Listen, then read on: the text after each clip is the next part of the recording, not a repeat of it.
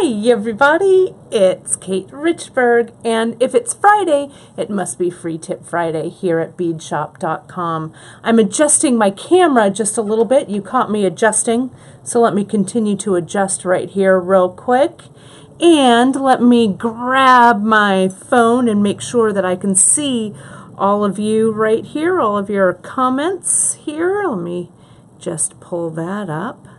And I hope everybody's doing well on this Friday, this free tip Friday. And I see everybody jumping on right here. That's great. Oops, I can also hear myself. So let me turn that down. Alrighty, great. Well, it's great to see everybody today.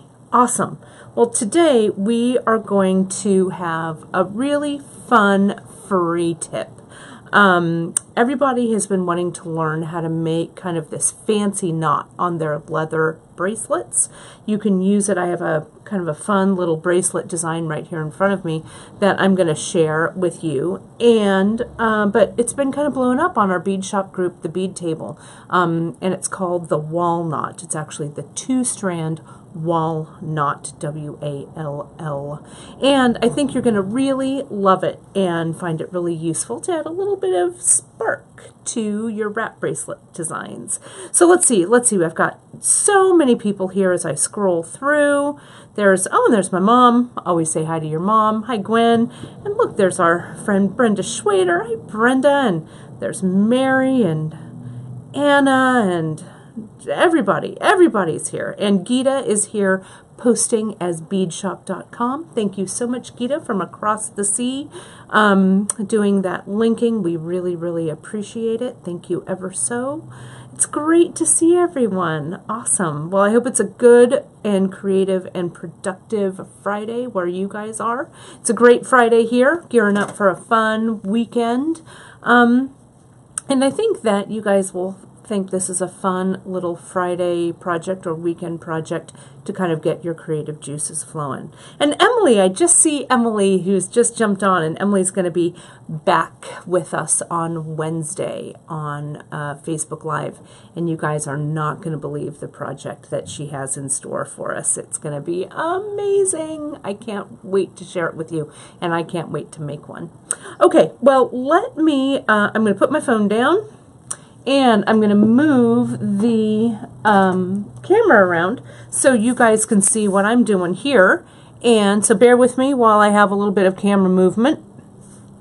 I'm going to turn this around. I'm doing free tip here on my in my office today, so you know it's a little so it's a little quieter here because we've got the staff.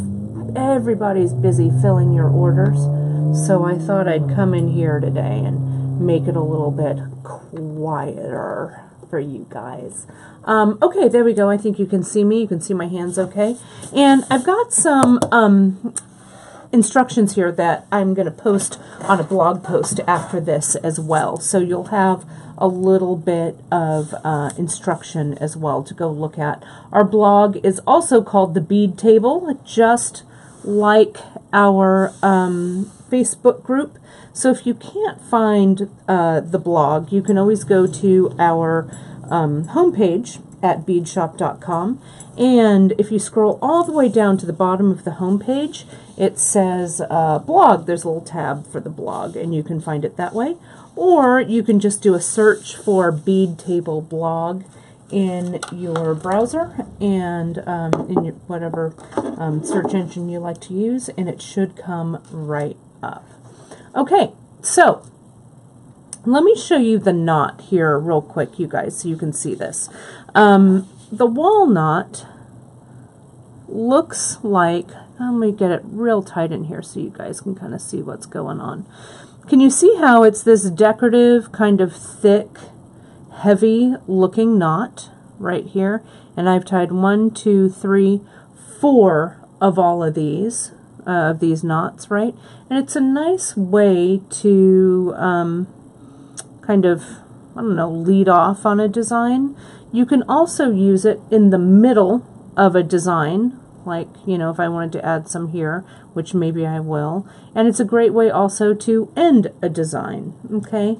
And I used, on this bracelet, I used some roller beads here Um, and the roller beads are, make my kind of quick little bracelet. So I'm going to show you uh, show you how I do that as well. So let's start by I'm going to put this aside, and I'm just going to start with um, the knot.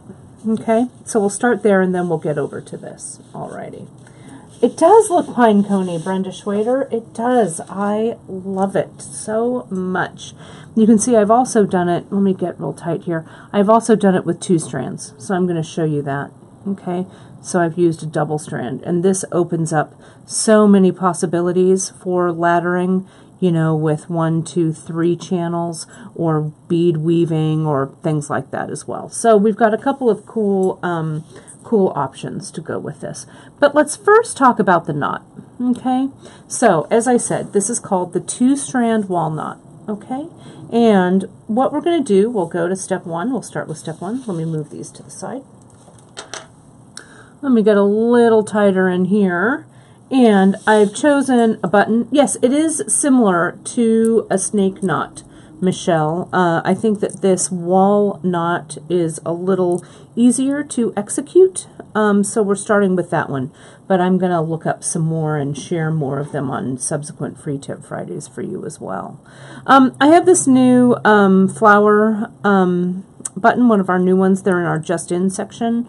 Um, they're really, really cool. I love them and so we'll start one of these.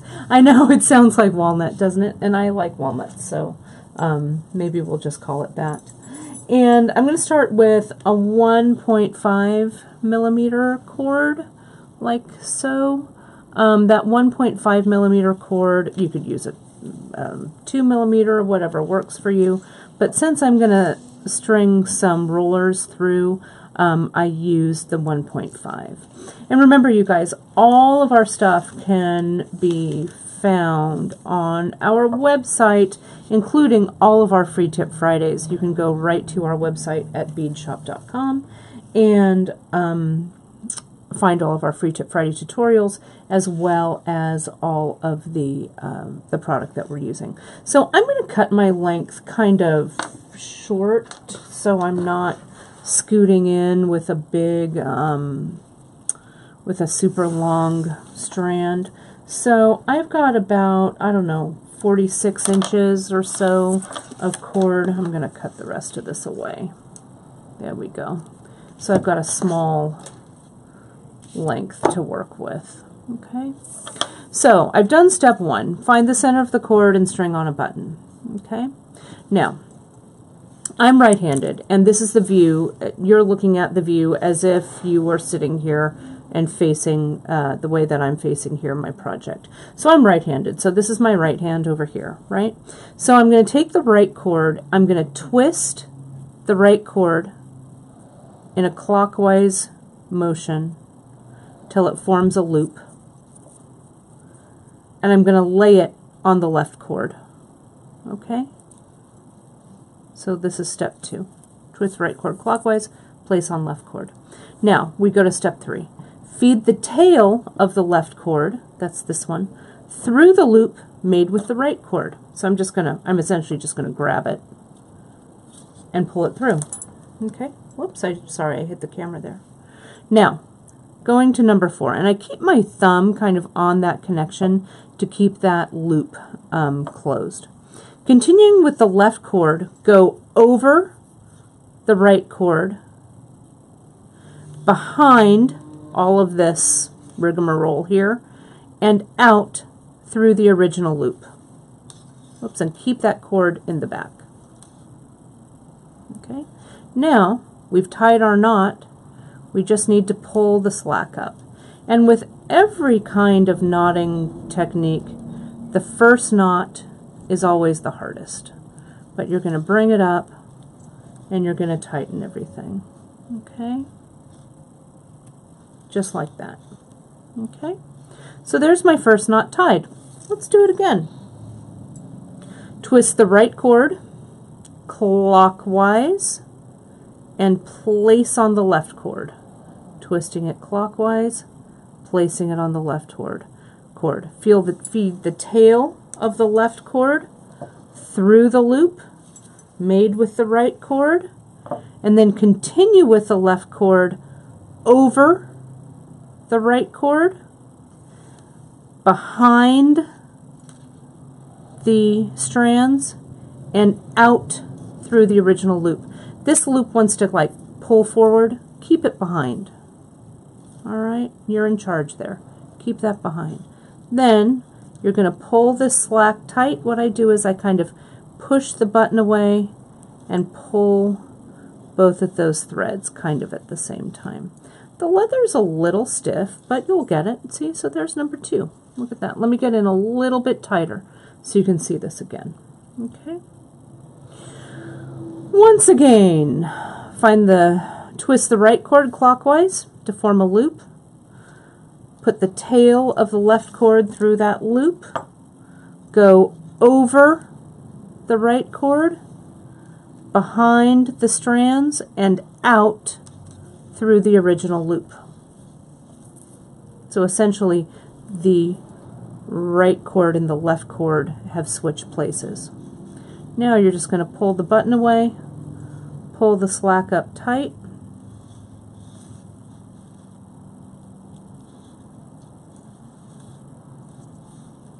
This is, again, where you have to kind of fiddle with it just a little to get it exactly where you want it to be. And it looks like I did something wrong there. So I was explaining, I was over explaining. So I'm just going to take it out. If it doesn't look right, take it out and repeat your steps. So right cord, cord clockwise, the tail of the left cord goes through, your left cord goes over the right cord, behind the cords, and out through the original loop. And then you pull it tight. And there you go. Can you see how when I'm tightening it up, see how you, see how you get kind of that figure eight with a little kind of symmetrical wiggle in the middle, right? That's how you know, if it looks right like that, you know that's going to be correct. Okay. There we go. Lorraine says she's still trying to conquer regular macrame.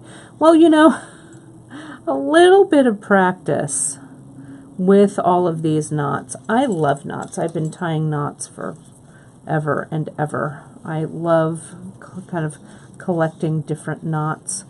And the more, you know, you just kind of practice and the thing with knotting is whatever you do on one side, you pro probably do on the other side. So, um, you know, that's kind of a rule of thumb. Uh, Kim is asking, if you drop it, how do you know which is the right cord? Well, I don't know. Let me see. You could, Kim, if you wanted. Whoops, that one didn't go right either, did it? It's because I'm talking and tying at the same time. So let me uh, let me undo this.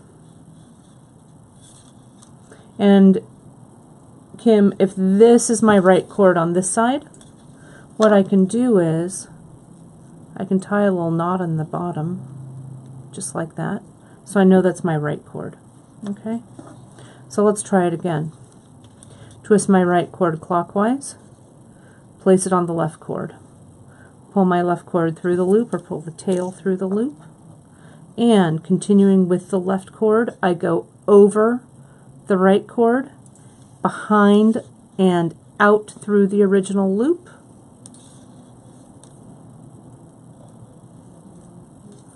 And then you tighten. And see how See how that looks? It just looks symmetrical. So that's how I know this is right.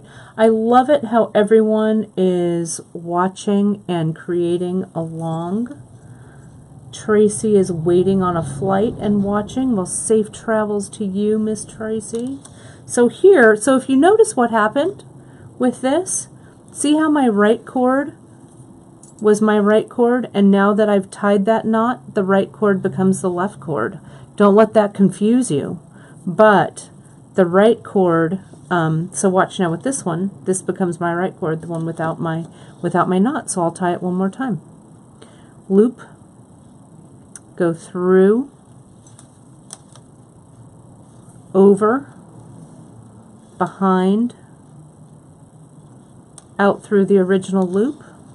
Keep that cord behind there. And tighten. There it goes. And you'll know right away if you've not tied this correctly. It looks like I'm like one for two. This one's not right either. Come on now. What's the matter with me? It's because I have all of your eyes on what I'm doing. Right cord over, out, over, behind, and tighten. Let's see, to secure the button. Yeah, Debbie, we could do that. I uh, so I have a um, a board right here. So let's see if we can. I had that same thought. So let me see if I can anchor that thought. What Debbie asked was, I think I would have to secure the piece. Um, it seems like so much flopping around and a big chance of a big mess. I agree. So let's check this out. Okay, let's try it. Yeah, Sharon, I was I think that this cord could be done probably with most cording, especially um, like our surfer cord. I think it would look great. So see, I just have a little piece of Chinese knotting cord that I had sitting um, on my desk. I pulled it through the loop of the button, but you could also, if you had bigger cord, like I've got some here, you could just secure it around the button here as well. Okay. So I'm going to go ahead and um, I'm going to go ahead and clip it here like so. And so that's nice and secure. Okay, so let's do this again. I'm going to go ahead and start with my right cord. Here's my right cord. My right hand is here. Hello, hello everybody. I make my loop in a clockwise motion angle myself a little bit so it's better with the camera. I get the tail of my left cord through like so and I take this cord and I go over with my left cord I go over my right cord behind all of my work and up and out and tighten it up.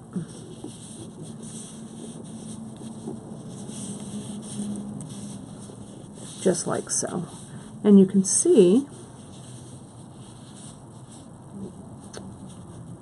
come on now, there we go.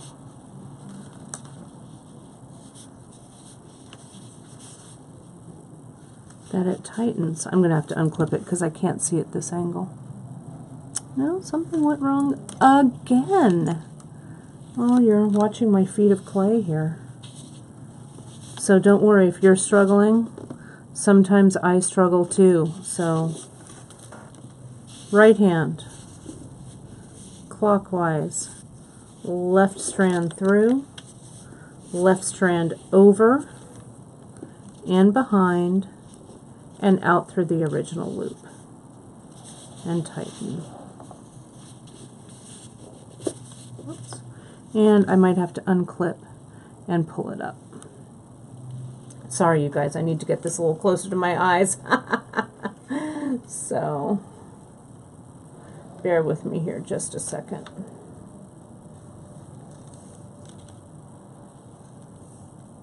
There we go. Getting it re reorganized here. I think for me, tightening this up without it being clipped is the way to go. There we go. Because I can see it. But you can certainly clip this down no problem. It might want to twist a little bit, but you can see I've got a bunch of these knots um, tied here. I've got one, two, three, four, five. I've got six of these all in a row. Okay, and tie another, Michelle's saying if you tie another four on the braid and clip two more clamps on each side, it won't twirl on you. Um, hmm. I'm not sure I know what you mean, Michelle, but I'm sure it will, um, it will, it'll come to me. So, yeah, so there we go. Okay. So let's take a look at uh, what I've done here with this piece. Okay. So here's, yeah, well, you know, that's what I love about live free tip is that, or any of our live broadcasts, you know, you get to see us, you know, bead in real time, right? So here what I've done is I've tied my knots and then I started to use our roller beads, okay? And um, you could set this up now and start your laddering, like if you wanted to ladder in between, right? You could build this up, start to ladder, do whatever it is that you want with this, right? So, but what I have here is I've added some roller beads to make a quick, uh, a quick bracelet so we can also um, close it up at the end. So let me measure and see how many. I want to add maybe I don't know, about four more roller beads to this piece. So let me show you. Let's go ahead and I'm going to go ahead and secure this piece to the board. Let me show you guys how I do that. Sometimes I do that with just a loop of CKC. Oh, it's great. So many of you are wishing our Janice a happy birthday. Her actual birthday is tomorrow on Saturday, but we're celebrating all weekend. So, birthday uh, greetings all weekend are wonderful, and she's gonna um, she's gonna go uh, and have a fun celebration this weekend for sure. So here's this roller bead, and all I do, you guys, is I'm figure eighting right through this. So I go my right hand, my left hand, and pull. And this is, that's why I chose the 1.5 leather, because this 1.5 millimeter fits through that roller uh, bead just perfectly. Let me get a little tighter so you can see it. And Anissa, you um, are you said you joined a little bit late. You can always watch our rebroadcasts of all of our Free Tip Fridays on our YouTube channel, right here on our Facebook Live channel, or over on our website at beadshop.com. So uh, there are lots of ways. If you miss it, you can always rewatch it. And you know, we have a wealth of Free Tip Fridays um, that we have done and have archived. The idea behind Free Tip Friday for me when I decide what I'm going to do is I purposefully don't do too much pre-planning because I like Free Tip Friday to kind of be responses, direct responses to questions that you guys might have or um, all you know other stuff like that. So um, our Facebook lives are a little more I don't want to say scripted, but maybe they're a little more planned, and our free tip Fridays are a little more off the cuff. So, um, so that's the story with those. So I'm using the 1.5, our sable leather, right? Um, and the sable uh, kind of goes from this brown to black, which I love. And yes, I agree. Cindy, you were saying with the right beads, this would be a great man's bracelet. I agree completely. I think it would look great. I think it would really look great as a man's bracelet.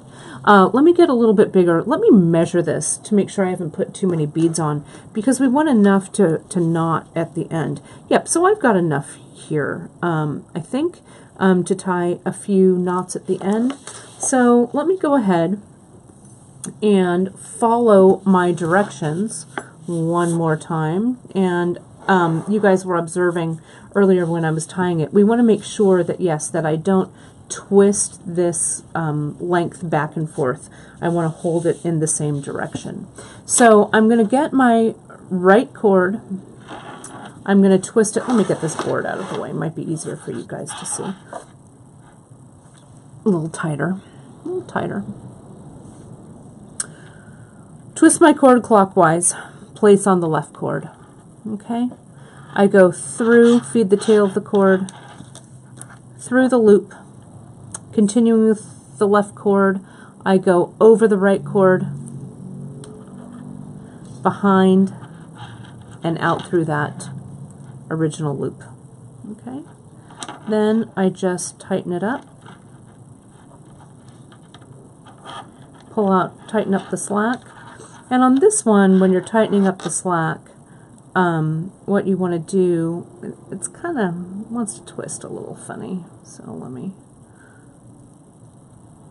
let me get it back into my eye range here. There we go. Can you see that? It's nice and tight. So we'll do this next one clockwise out through the loop over behind out through the original loop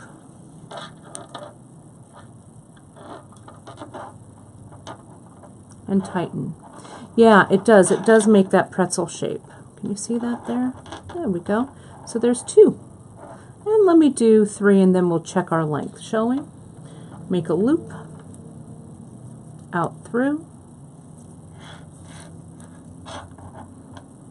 over the right hand cord out through the original loop and tighten. This is the part where you don't want your strands to flip because if they get flipped your knot ties incorrectly. Okay. So now I've got three. Okay. So let me do a measurement here and see where I am. Pull that up just a, a little bit. This one is a little looser so it's tapering just a hair. So there we go. Okay. Let me measure, see where I am. I'm going to tie a couple more. Pretty close. Looks like you guys are busy planning on what you're going to be making with this knot, which is awesome. I do think it would make a really nice guy bracelet. Really nice lady bracelet. Yeah, there we go. And the um, you may want to try with some different cords. We were talking about that a little bit earlier about the variety of cords that you could tie this with. So we could use our, um, try our 0.8 millimeter Chinese knotting cord, or we could use our 1.5 millimeter surfer cord. Both of those I think would work, uh, would work really nicely with this knot. Just feed it right up. There we go. All right, let's take a look how handsome that looks at the end. I can get a nice close shot in there for you guys. You can see that really nicely. Let me give this a measurement. Okay.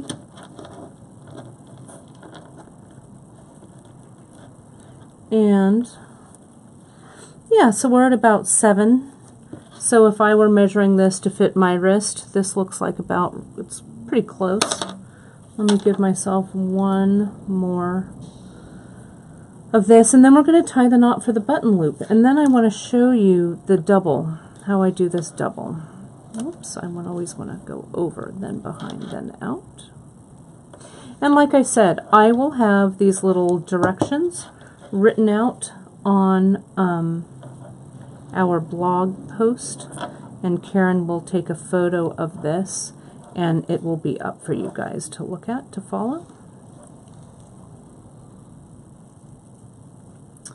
um, color choices. Yes, with the surfer cord. And I think the surfer cord, you could also get yourself a knot that's a little, um, maybe a little tighter. Um, you know, a little more compact if you wanted because the surfer cord has a little more, uh, you know, you can tighten it a little bit more. This leather is a little stiff. There we go. There's my last knot. I know, I love the look of this too. And if you were, if you were continuing on to make a wrap bracelet, you could have, um, you know, a section here in the middle and then continue on with something else. So you can do a multiple wrap. I think would look beautiful.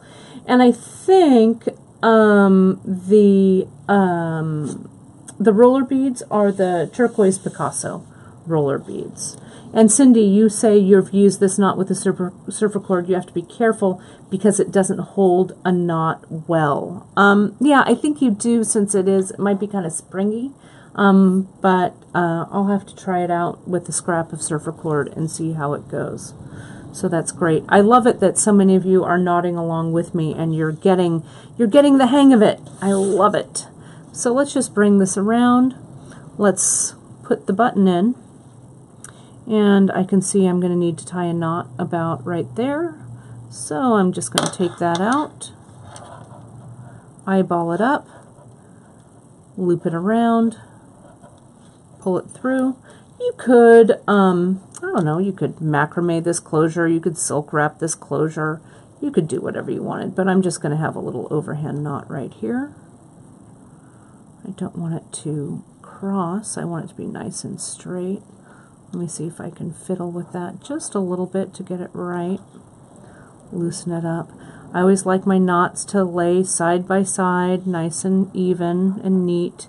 There we go. That's better, I think. Come on. Who's the boss of that knot, everybody? That's me. So I'm going to tell it I'm in charge. There we go. That looks a lot nicer. Not twisted. Okay. And let's make sure that before I cut anything off, that that button goes through. And it does. That might be a little long, so let me just tighten it up just a little.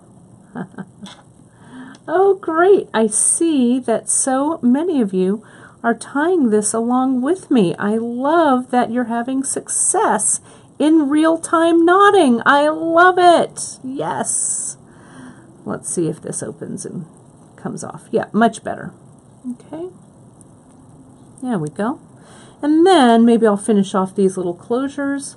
Let me go just knot this end here like this and like this and pull it tight.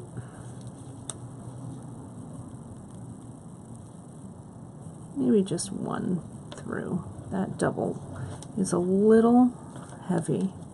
Yeah, yay, you guys. Good job. I'm to do that, and I'll tie this other one just here. Right, nice and tight. And, whoops, let me cut, clip, come on there. We're going to clip away my extra there and there. And look what we've got, you guys. Look at how nice that closure, you see that? How that closure looks. Really good. I love that there are nodding puns going along in the comments. You guys are awesome. Look at how great that looks. So good, if I do say so myself. Now, let me complicate things. I've got a few more minutes before I will log off, and I'm going to set this one aside. And I'm going to show you what I did here with the one millimeter leather, of course, because, you know, why, why stop there? Let's, you know, more is more, right? But when you tie knots with a doubled cord, and some of you were watching me when I um, did the um, Chinese button knot, um, and I was doing it with two strands you want to make sure that when you're working with two strands that we're keeping those two strands laying side by side. So I started it the same way. Can you see how I just put two strands through the button right here? And I'm just going to do the very same thing. I've got my right cords and I'm going to turn them in a clockwise direction. And as I turn them, see how I want, let me show you here. Sorry, my fingers are a little fumbly. See how when I turn them, let me get in even a little bit tighter, how nothing crosses that inside loop and the outside loop. They're not crossed over like this, but they're laying side by side. Okay? Then I bring these strands through also side by side. Okay. Pull that through. Now, keeping my thumb where this crosses, keeping these strands side by side, I go over, just like we did before, behind and out through that loop. Okay? Now, as I'm tightening it up, can you see there's nothing that's crossing. They're still all laying side by side. I tighten, I tighten. And it just tightens right into place there.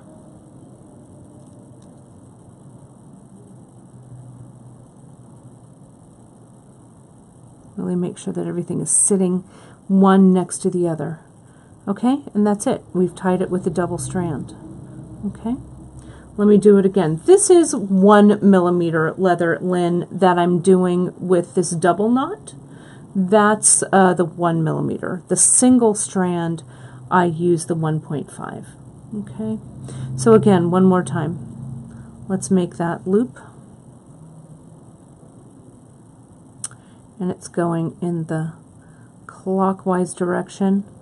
Nothing, the strands are not crossing over. I bring the leather through the loop.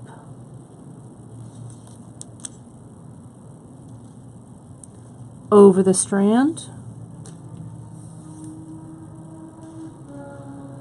Back out. All the while keeping everything side by side.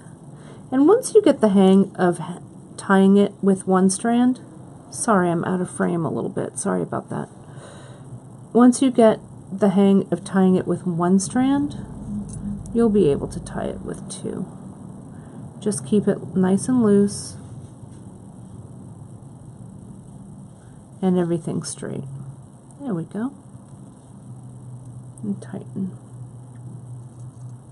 Okay. There we go.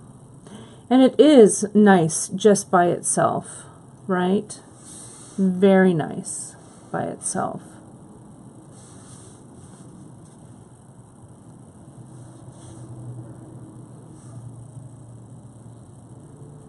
And see there it's twisted just a hair.